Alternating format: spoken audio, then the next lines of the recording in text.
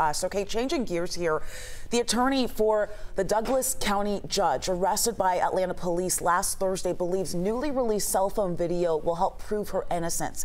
Judge Christina Peterson faces a misdemeanor battery against an officer charge and a felony count of obstructing an officer. 11 Alive's Teresa Bowles has a breakdown of the latest video in the case.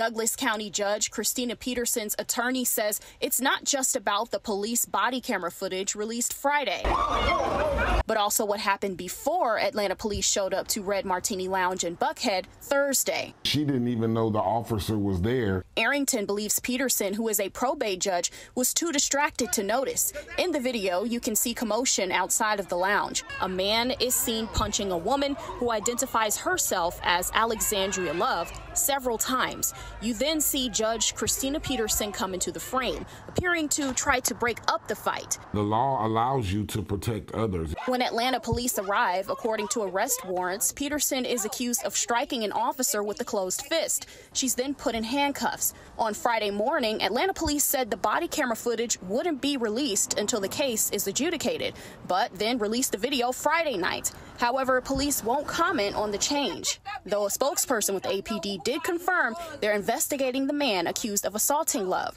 Body camera footage also shows the sitting judge later cursing at the arresting officer and refusing to identify herself. It's illegal to drink and drive.